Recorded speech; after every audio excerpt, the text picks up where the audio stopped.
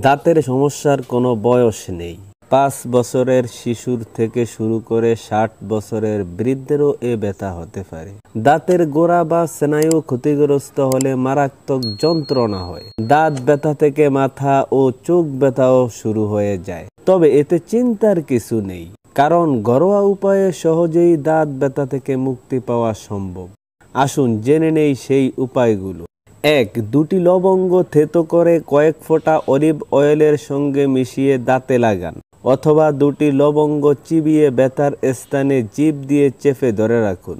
কিছুক্ষণের মধ্যেই ব্যথা কমে যাবে। দুই, লবঙ্গের সঙ্গে গোলমরিচ মিশিয়ে পেস্ট তৈরি করুন। দাঁতে লাগিয়ে রাখুন কয়েক মিনিট। ব্যথা কমে গেলেও কয়েকদিন এটা করুন। তিন, এক কোয়া রসুন থেতলে নিয়ে অল্প একটু লবণ মিশিয়ে দাঁতে লাগান। বেশি যন্ত্রণা হলে এক কোয়া রসুন চিবিয়ে খান। চার, দাঁত মারি গলার ব্যথা কমাতে খুব ভালো কাজ করে লবণ পানি। এক গ্লাস অল্প গরম পানিতে এক চা চামচ লবণ মিশিয়ে কুলকুচি করুন। পাঁচ, এক টুকরা কাঁচা পেঁয়াজ চিবিয়ে খেয়ে নিন।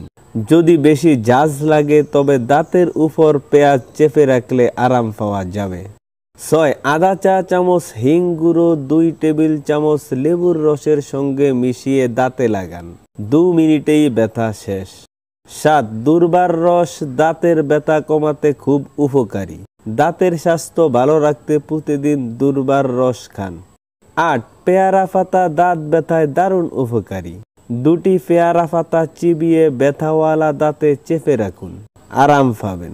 অথবা পেয়ারা পাতা পানির সাথে মিশিয়ে সিদ্ধ করে সেই পানি দিয়ে কুলি করলে দাঁত ব্যথায় ভালো ফল পাওয়া যায়। নয়, তুলায় কয়েক ফোঁটা ভ্যানিলা এক্সট্রাক্ট নিয়ে দাঁতে চেপে ধরে রাখুন। দশ, হাতের কাছে কোনো কিছু না পেলেও যদি শুধু বরফ পাওয়া যায় তবে কাজ হবে। এক টুকরা বরফ, তুলা বা কাপড়ে মুড়ে দাঁতে চেপে রাখুন। ব্যথা কমতে থাকবে। এগারো, এক গ্লাস গরম পানিতে এক টেবিল চামচ লবণ মিশিয়ে মুখে নিয়ে এক মিনিট রাখুন। এভাবে দিনে তিনবার কুলি করলে ব্যথা কমে যায়।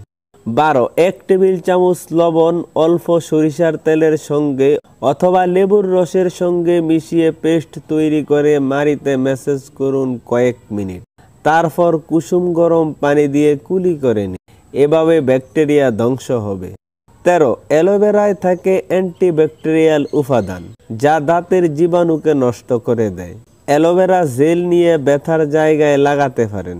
এরপরও যদি দাঁত ব্যথার সমস্যা থেকে থাকে, তাহলে ডেন্টিস্টের কাছে যাওয়ার আগে বরাফেটে দুটি অ্যাসপিরিন বা একটি আইবুফ্রুবিন ট্যাবলেট খাওয়া যেতে পারে।